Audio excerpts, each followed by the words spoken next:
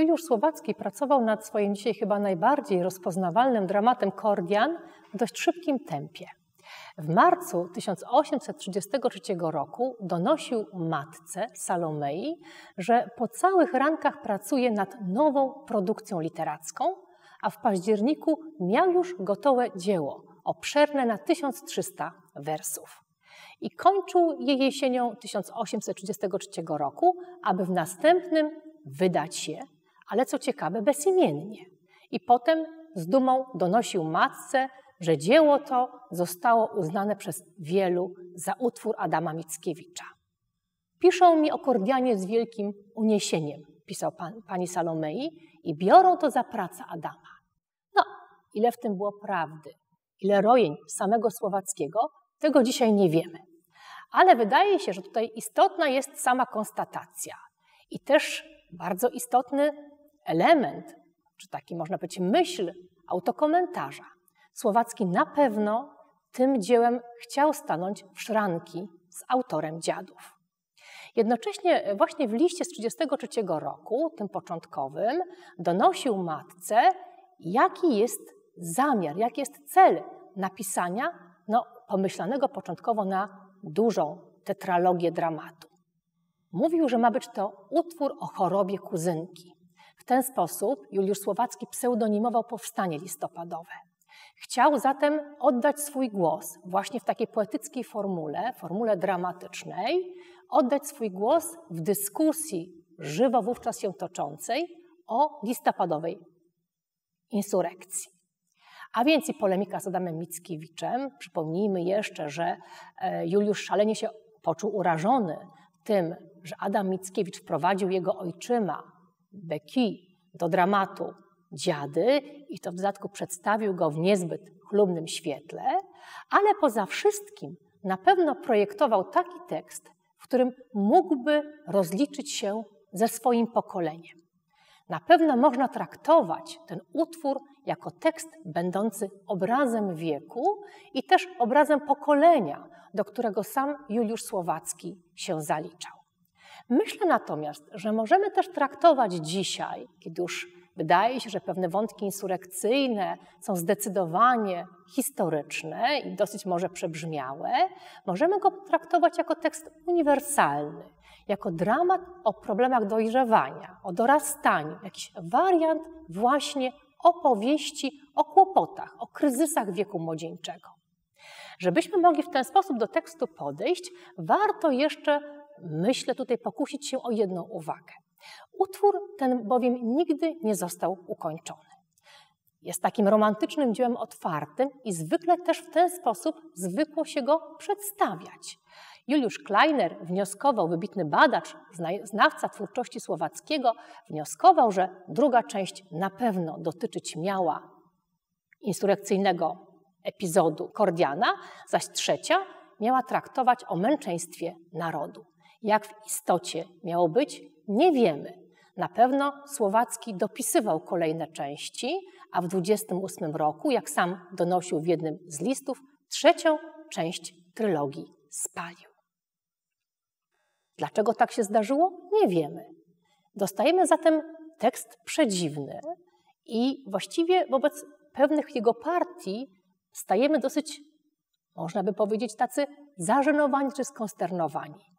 Mianowicie pewne fragmenty utworu, przygotowanie czy prolog są jakieś takie niewykończone potem w pierwszej części, niesubordynowane wokół tego pierwszego, pierwszej części dramatu. Na pewno miało być rozwinięte później, ale do tego nigdy nie doszło. Zatem jest to też ciekawa podnieta dla czytelnika.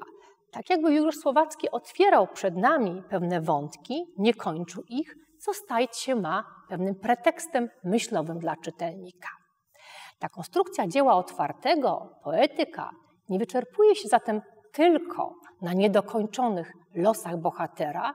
Jak pamiętamy, rozstajemy się z Kordianem w momencie, kiedy stoi on przed plutonem egzekucyjnym i właściwie czeka na wykonanie wyroku, ale jest gdzieś jeszcze nadzieja, że oto posłaniec przybędzie z aktem uniewinniającym bohatera. Otwartość jednak tego dzieła również wiąże się z jego dialogicznością. Juliusz Słowacki był takim bardzo ciekawym poetą. Jeden z badaczy nazwał go poetą bluszczowatym. Mianowicie, e, jakoś tak jest, że autor Kordiana i Balladyny zawsze potrzebował jakiegoś innego tekstu, jakiejś podniety intelektualnej, żeby zbudować swój własny tekst. Dlatego można też rzec, że Kordian jest takim tekstem o bardzo nowoczesnej konstrukcji, e, bazującej na takiej grze intertekstualnej, na dialogu. Zwróćmy uwagę, ile w tym tekście jest odniesień do Szekspira, do Mickiewicza, do Byrona, ale również gdzieś do intelektualnych, myślowych wątków Alfreda de Musset czy Chateaubrianda, ale również do getańskiego Fausta. Zatem, żeby ten tekst uważnie przeczytać i wydawa, wydaje się w taki sposób, można powiedzieć, dojrzały, należałoby się zagłębić w całe kompendium innych tekstów, które Juliusz Słowacki czytał. Nie bez przyczyny wymieniłam tutaj jako dwóch też patronów e, twórczości słowackiego Miseta, ale również Chateaubrianda z jego powieścią René. René to opowieść o takim młodzieńcu, który bardzo przeżywa konflikt z sobą, ze światem, e, bardzo intensywnie wchodzi w głąb samego siebie, szuka swojej drogi ku jakimś celom, szuka sensu życia, w końcu go zresztą nie odnajduje.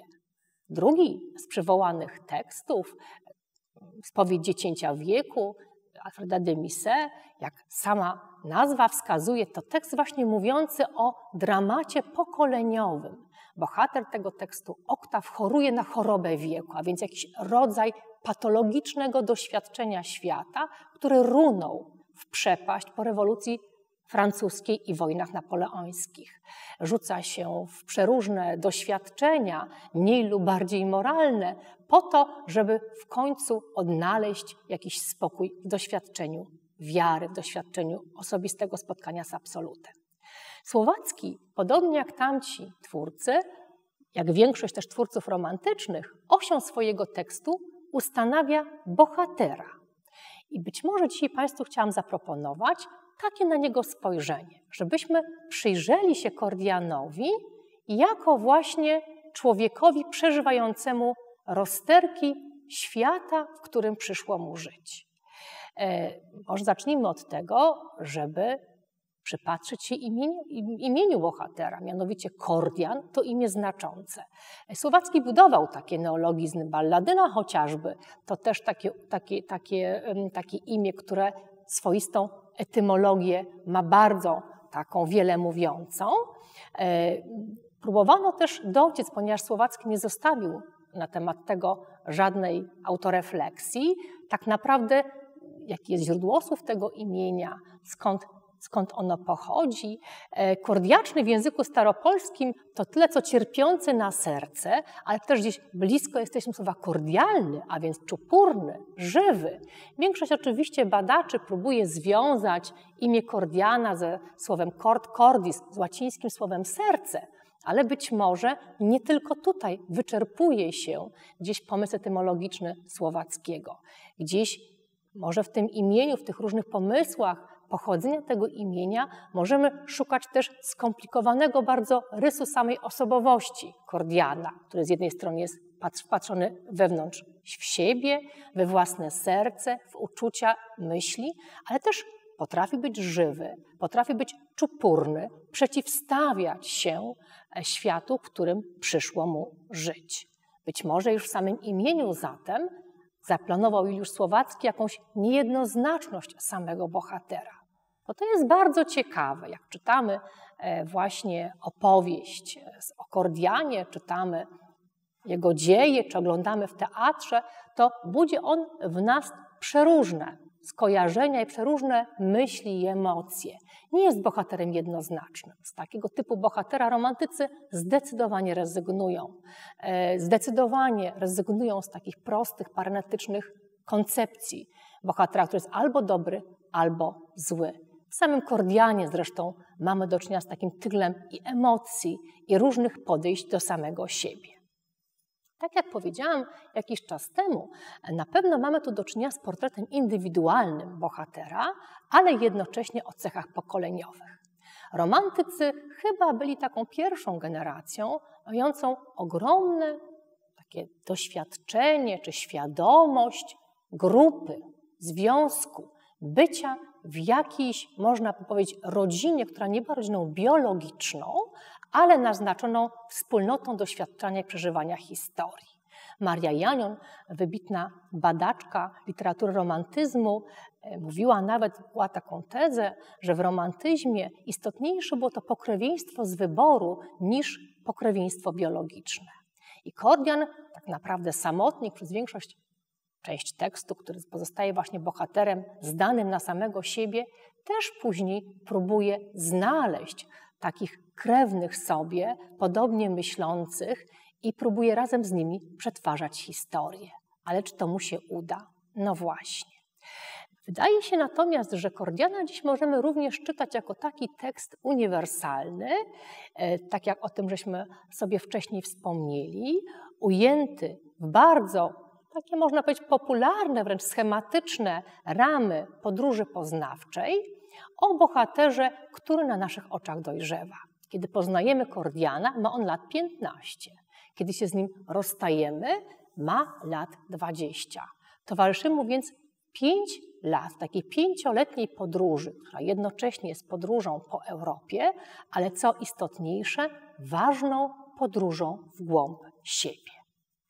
E, spróbujmy przyjrzeć się e, na chwilę temu, co dzieje się w pierwszym akcie, gdzie poznajemy młodziutkiego chłopca e, i ta młodość piętnastolatka narzuca zgodnie z prawami rozwojowymi, zgodnie z prawami psychologii rozwojowej, jego sposób doświadczania świata. Na pewno jest bardzo emocjonalny, na pewno też narzuca jego młodość pewien typ zainteresowań, ocen, relacji ja-świat, wartościowania. Kordian jest przede wszystkim bohaterem głęboko poszukującym. Poszukuje siebie, innych, miłości, akceptacji, celu i sensu życia. Otwiera ten pierwszy akt bardzo intrygujące zdanie, które jest odniesieniem do jego biografii, ale równocześnie odniesieniem do biografii samego Juliusza Słowackiego, który mocno przeżył w młodzieńczym wieku śmierć samobójczą swojego przyjaciela Ludwika Spitznagla. Kordian również ma takie doświadczenie. Zabił się młody. Tak rozpoczyna się tekst Kordiana, a więc od takiego tanatycznego wątku, Dalej młody bohater mówi zrazu, jakaś trwoga kładła mi w usta potępienie czynu. Była to dla mnie postępna przestroga, abym wnet gasił myśli zapalone. Dziś gardzę głupią ostrożnością gminu, zapalam się, płonę, jak kwiat liściami w niebo otwartymi, chwytam powietrze, pożeram wrażenia i dalej mówi o tym, że jest posępny, tęskny, pobladły i patrzy na kwiatów skonanie. Szczerze powiedziawszy, takie doświadczanie świata, bardzo pesymistyczne, trudne, no raczej kojarzy nam się z osobą dojrzałą, aniżeli z młodzieńcem.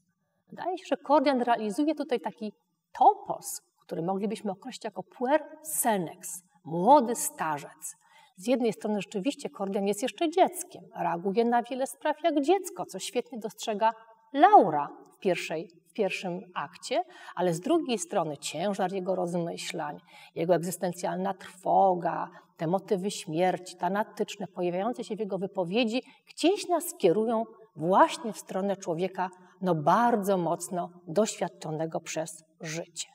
To zapewne świadczy o jego wybitnej takiej nadwrażliwości, inteligencji. Już Kleiner wręcz pisał, że jest to bohater o wyrafinowanej kulturze intelektualnej. Przypomnijmy, że też jest poetą.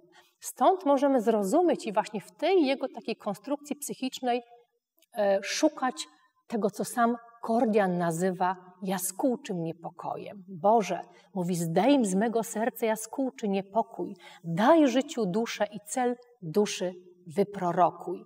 No tutaj wydaje się, że cała, cały problem młodego Kordiana się ogniskuje. Daj cel w życiu, wyprorokuj cel duszy.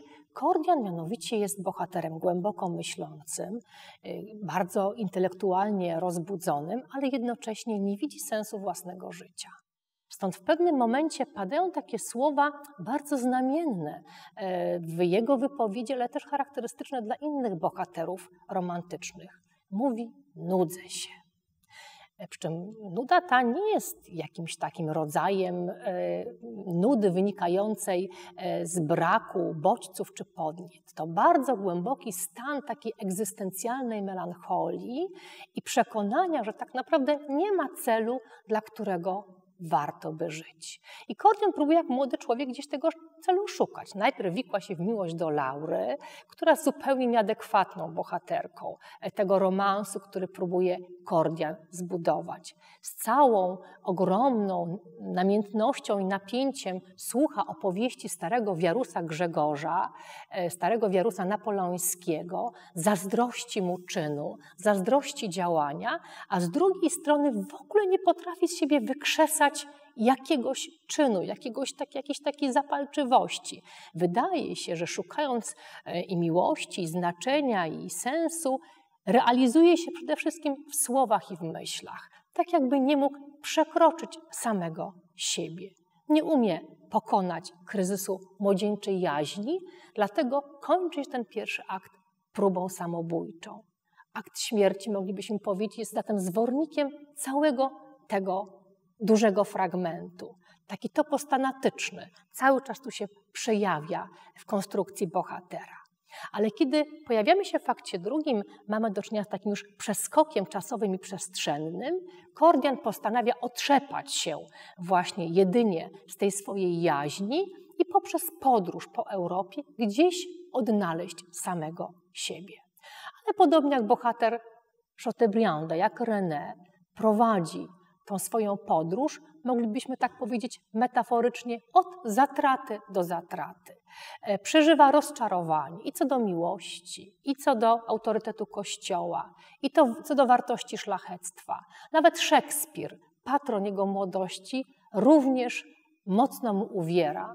W nim bowiem szukał ostoi, swoich uczuć, celów, myśli. Okazuje się, że tak naprawdę Szekspir zostaje tutaj mocno zdruzgotany i postawiony jako ten, który winny jest takiemu szczególnemu poetyckiemu doświadczaniu świata przez Kordiana. Tu musimy się na chwilę zatrzymać. Wiemy mniej więcej, co było dalej. Kordian próbuje ocalić samego siebie i sens życia w kolejnym micie, sięgając po mit Winkelrieda.